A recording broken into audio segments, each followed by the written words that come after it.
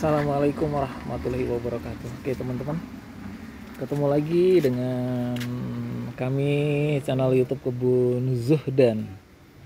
Nah biasanya per satu minggu, per dua minggu atau per bulan kita selalu review teman-teman ya uh, perkembangan setiap tanaman kita ya, terutama yang memang sedang berbunga atau berbuah teman-teman. Jadi kebetulan kita uh, apa ya biar tahu uh, level perkembangannya ya. Nah kebetulan kemarin ada juga mangga kyoje tapi biasa teman-teman ya kalau mangga itu biasanya kalau udah berbunga minimal berbunga itu cepat sekali lakunya teman-teman. Berbeda dengan kristal ya. Kristal pun sama sih sebenarnya cuman memang ini jumbo banget teman-teman ya. Ini jumbo banget teman-teman bisa lihat dan lumayan teman-teman kalau udah di pot usianya hampir dua tahun lebih jadi teman-teman bisa lihat hmm, uh, prosesnya ini panjang sekali. Jadi mohon maaf kalau kemarin kemudian Pak saya nyari batang swimik pala yang sudah besar. Nah begitu saya kasih yang ini waduh gede banget gitu subur banget rindang banget gitu. Ya ini hampir dua setengah tahun lebih teman-teman. Jadi wajar kalau kemudian uh, dari batang kecil sekali teman-teman.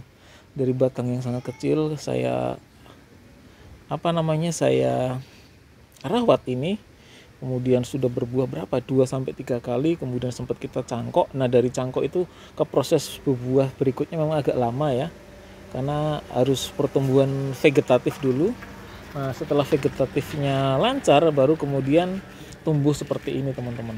Generatifnya muncul. Jadi teman-teman bisa lihat calon buahnya satu dua tiga empat kemudian lima enam 7 8 9 10 11 12 13 14 uh, 15 16 kemudian 17 ini yang dalam bentuk buah ya teman-teman ya. Kalau yang bentuknya bakal bunga atau pentil ya banyak lagi. Jadi buahnya kurang lebih 15 sampai 17 dengan level di pot 50 dengan usia dua setengah tahun atau tiga tahun bisa nggak istilahnya jadi semua. Analisa saya jadi kenapa? Pertama, karena usianya itu mau benar-benar udah matang teman-teman ya, dua tahun lebih ya. Nah, kemudian rantingnya, batangnya itu banyak sekali. Rantingnya, batangnya banyak banget.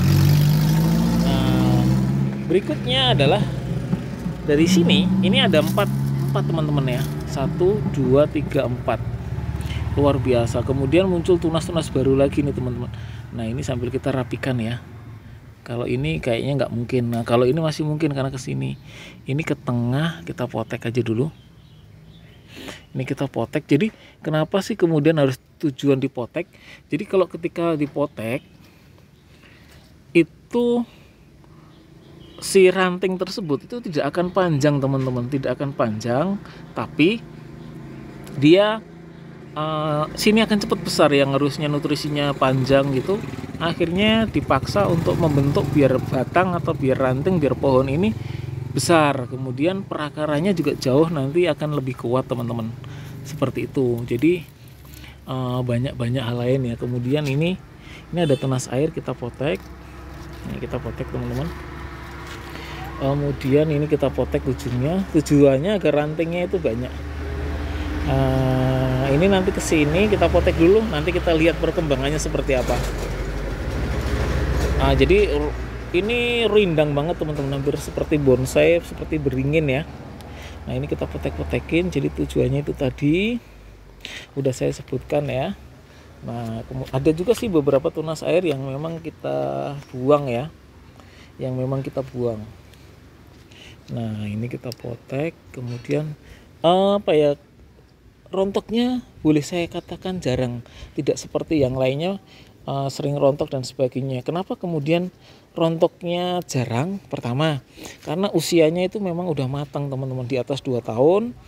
Kemudian potnya juga 50 kemudian media tanam atau nutrisinya juga terjaga sehingga apa ya uh, nutrisi yang dibutuhkan sama batang sama pohon sama daun sama bakal buah itu tercukupi nah nanti baru kita akan bahas mengenai perlukah kemudian di apa ya dikurangi calon buahnya. Nanti oke ya teman-teman ya nanti ini nah, ini kita kita potek lagi. Nah saya kira sih sudah dipotek semua ya. Oh ini ujungnya. Nah ini belum. Karena ini ada bawah. Lebih aman lagi teman-teman kalau misalkan bakal buah tersebut itu ada di batang nah itu fase berikutnya jadi fase saat ini memang buahnya rata-rata masih di ujung nah ada kemungkinan bahwa buahnya itu nanti tidak terlalu besar kalau buahnya di ujung teman-teman jadi kalau buahnya nanti dari pang dari batang Nah, kemungkinan besar buahnya akan besar. Jadi buah terbesar saat ini ini teman-teman. Dia hanya satu dalam satu ranting kan biasanya dua. Ini dia hanya satu. Nah ini beda ranting ya, beda ranting. Jadi ini aman lah. Kemudian yang di atas, nah ini masih sama-sama bagus teman-teman. Sambil kita potekin calon uh, tunas barunya. Oke, jadi uh, enaknya di sini rata-rata tunggal teman-teman nah buahnya itu tunggal kalau umumnya kan rata-rata berpasangan. Nah ini rata-rata tunggal. Tunggal yang yang berdua hanya ini saja teman-teman. Nah sama ini ada juga. Kemudian ini ada juga. Yang lainnya tunggal. Ini ada juga. Oke kemudian kita akan potek lagi. Nah baik. Nah seperti ini uh, apa ya kalau teman-teman misalkan langsung melihat ini yang ada memang rindang sekali rimbun sekali gitu. Jadi kesimpulannya biasanya seperti itu. Nah, ini masih ada lagi. Oh ini karena ada bunganya ya nanti kita ini lagi. Nah oke. Okay. uh, jadi kondisi seperti ini itu kebutuhan terhadap nutrisi itu luar biasa banyak teman-teman. Jadi dengan bakal buah yang banyak kebutuhan nutrisinya pasti juga akan banyak. Nah ini ada yang rontok ini pot. Yang saya lihat rontok mungkin di awal-awal ya teman-teman. Dan kebetulan kebantu juga musim hujan jadi uh, tambah subur lah tambah keren gitu ya. Dan pada saat-saat seperti ini memang uh, KNO itu benar-benar dibutuhkan teman-teman ya untuk mencegah kerontokan ya. Uh, yang berbau-bau N dan sebagainya ya itu penting juga untuk kondisi seperti ini dalam proses generatif. Jadi menjaga nutrisi karena yang saya sampaikan tadi bahwa kebutuhan nutrisi dengan di pot itu luar biasa. Nah ini mungkin karena ini pengalaman pertama saya buahnya begitu banyak uh, nanti tetap saya apa namanya saya bantu dengan KNO teman-teman ya nah saya dulu pernah uh, jambu kristal merah buahnya banyak sekali gitu cuma karena nutrisinya hanya mengandalkan pupuk kandang pupuk kimianya belum dapat ya akhirnya agak repot juga tapi mudah-mudahan kali ini stok KNO nya ada jadi saya nanti kita pakai KNO juga untuk untuk membantu proses apa ya pertumbuhan generatifnya teman-teman Oke, baik. Saya kira itu saja ya. Uh, apa namanya?